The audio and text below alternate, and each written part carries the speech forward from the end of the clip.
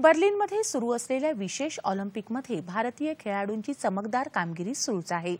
पंचवीस मीटर जलतरण फ्रीस्टाईल प्रकारात आपापल्या गटात प्रशद्धी पूजा आणि दीक्षानं सुवर्ण पदक पटकावलं तर याच प्रकारात माधवनं रौप्य पदक आणि सिद्धार्थनं कांस्य पदक मिळवलं.